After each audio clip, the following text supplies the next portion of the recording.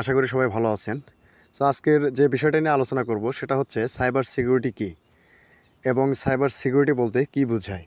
তাই এখনও যারা আমাদের এই চ্যানেলটি সাবস্ক্রাইব করেনি তারা অতি দ্রুত আমাদের এই চ্যানেলটি সাবস্ক্রাইব করবেন এবং পাশে থাকা বেল আইকনটি প্রেস করে রাখবেন। কেননা এই চ্যানেলে আমরা প্রতিনিয়ত শিক্ষণীয় বিষয়ে ভিডিও আপলোড করে থাকি এবং সাইবার সিকিউরিটি রিলেটেড আপলোড করে থাকি। তাই এখনও যারা আমাদের চ্যানেলটি সাবস্ক্রাইব করেনি তারা অতি দ্রুত চ্যানেলটি সাবস্ক্রাইব করে আমাদের পাশেই থাকবেন। পাশাপাশি আমাদের একটা টেলিগ্রাম চ্যানেল আছে যেটা আমরা অনেক ধরনের ভিডিও আপলোড করে থাকি এবং অনেক ধরনের পোস্ট আমরা শেয়ার করে থাকি সেই টেলিগ্রাম চ্যানেলে কেননা ইউটিউবে অনেক ভিডিও আছে যেগুলো আমরা পোস্ট করতে পারি না। সেই ভিডিওগুলো আমরা আমাদের টেলিগ্রাম চ্যানেলে আমরা পোস্ট করে থাকি। তো আপনি চাইলে আমাদের এই টেলিগ্রাম চ্যানেলটিও জয়েন হয়ে রাখবেন। ভিডিও ডিসক্রিপশনে আমাদের টেলিগ্রাম চ্যানেলের লিঙ্ক দেওয়া থাকবে, সেখানে আপনারা চাইলেই জয়েন হতে পারবেন। তো দেরি না করে মূল বিষয়ে চলে যাচ্ছি।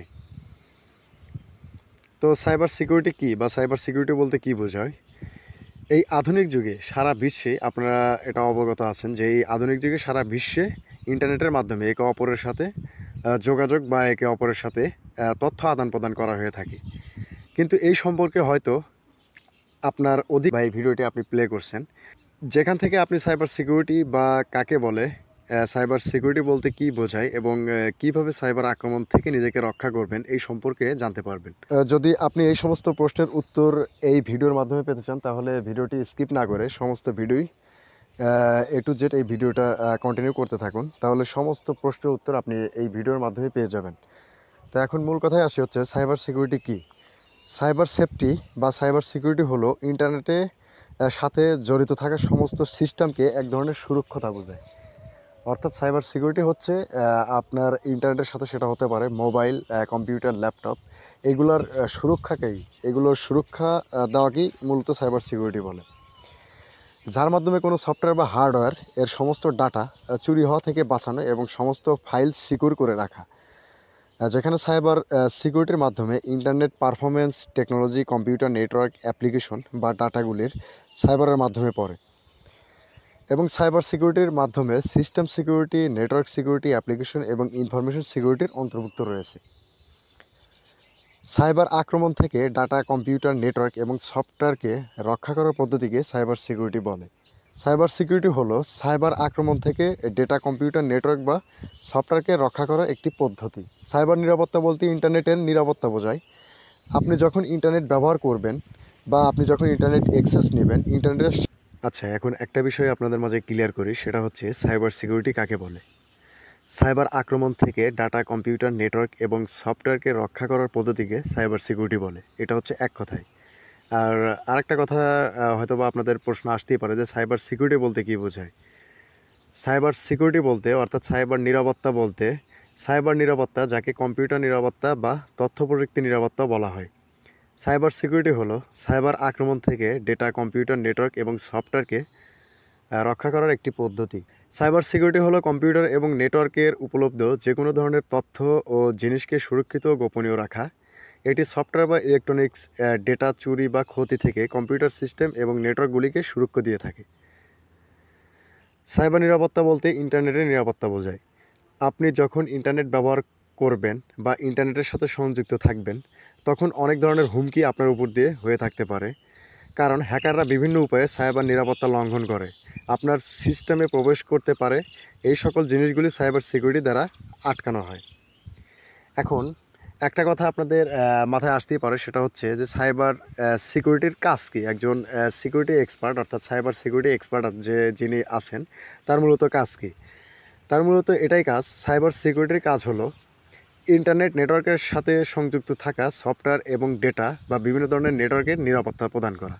সাইবার নিরাপত্তায় আপনার নেটওয়ার্ক ডিভাইস, সফটওয়্যার এবং ডেটা সুরক্ষিত দ্বারা এবং সুরক্ষিত থাকে যাতে আপনার ডেটা ভুল কার্যকলাপ থেকে ইন্টারনেটের মাধ্যমে নিরাপদ রাখা যায়।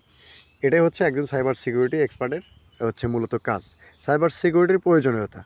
সাইবার সিকিউরিটির বহুত প্রয়োজনীয়তা। সাইবার সিকিউরিটির এক কথায় বলতে গেলে ব্যাপক প্রয়োজনীয়তা আছে।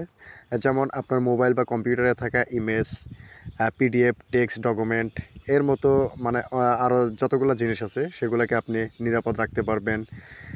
ডিফেন্স সিস্টেমকে সুরক্ষা রাখতে পারবেন। এবং আপনার যদি মিউজিশিয়ান হন বা আপনি যদি মিউজিক রিলেটেড নিয়ে কাজ করেন, সেগুলোর মিউজিকের যে কপিরাইট ফাইলগুলো আছে, সেগুলো আপনি নিরাপদে রাখতে পারেন এবং বিভিন্ন ধরনের ডেটা চুরি হওয়া থেকে রক্ষা করতে পারেন। আচ্ছা সাইবার হামলা মূলত কি কি ধরনের হয়ে থাকে? সাইবার হামলা মূলত অনেক ধরনের হয়ে থাকে। সে আমি যদি মানে একটু খুব অল্প সময়ে যদি বলতে চাই, সেটা হচ্ছে যে ম্যালওয়্যার অ্যাটাক হয়ে থাকে ফিশিং অ্যাটাক হয়ে থাকে এবং এসকিউএল ইনজেকশনের মাধ্যমেও সাইবার অ্যাটাক হয়ে থাকে। দেন আর একটা হচ্ছে জিরো ডে জিরো ডে এ ধরনের এ, মানে অ্যাটাক হয়ে থাকে। এগুলো আমি এক্সপ্লেন করলাম না। আমি আপনাদেরকে শর্টে বোঝাতে চাচ্ছি কারণ ভিডিওটা অনেক লং হয়ে যাবে। কীভাবে সাইবার আক্রমণ থেকে নিজেকে রক্ষা করবেন? এখন এটাই হচ্ছে প্রশ্ন যে আপনি আপনার সাইবার অ্যাটাক থেকে আপনি নিজেকে কীভাবে রক্ষা করতে পারেন? বা আপনার বিভিন্ন ধরনের কোম্পানি বা প্রতিষ্ঠান আছে, সেগুলো আপনি কীভাবে রক্ষা করতে পারেন? আপনি আপনার সিস্টেম বা, এবং সফটওয়্যারগুলি ব্যবহার করেন, সর্বদা সেই সমস্ত সফটওয়্যারগুলিকে সর্বশেষ সংরক্ষণের আপডেট করুন এবং আপনার সিস্টেমের যে ওয়েস আছে, অর্থাৎ যে আপনি যদি অ্যান্ড্রয়েড চালান বা কম্পিউটার চালান, যেটাই চালান না কেন অ্যান্ড্রয়েড চালালে তাহলে আপনার ওয়েসটা আপনি আপডেট করুন। লিনাক্স যদি ব্যবহার করেন লিনাক্সের ওয়েস আপডেট রাখুন এবং কম্পিউটার যদি ব্যবহার করেন, তাহলে সেটা আপনার উইন্ডোজটা আপডেট রাখুন। এগুলোর মাধ্যমে আপনি খুব সহজেই সাইবার মানে সাইবার আক্রমণ থেকে নিজেকে রক্ষা করতে পারবেন। এখন আরেকটা কথা হচ্ছে যে অ্যান্টিভাইরাস ব্যবহার করা। আপনি চাইলে আপনার সিকিউরিটি পারপসে ভালো মানের অ্যান্টিভাইরাস আপনি রাখতে পারেন বা ভালো মানের অ্যান্টিভাইরাস আপনি দিয়ে রাখতে পারেন।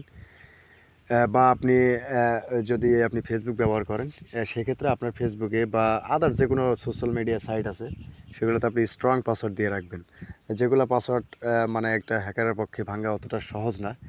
আপনি সেইভাবে একটা স্ট্রং পাসওয়ার্ড দিয়ে রাখতে পারেন। দেন আরেকটা কথা হচ্ছে যে, আপনি যখন ইমেল খুলবেন, তখন দেখবেন যে অজানা অনেকগুলো ইমেল আসে, সেগুলো আপনি ওপেন করবেন না বা ইমেলে থাকা আপনার অপরিচিত যেগুলো ইমেল আছে, সেগুলো ওপেন করবেন না। দেন হচ্ছে ইমেইলের মাধ্যমে একজন হ্যাকাররা স্প্যামিং ইমেল পাঠায় বা স্প্যামিং লিঙ্ক পাঠায়, সেগুলোকে আপনি ক্লিক করবেন না।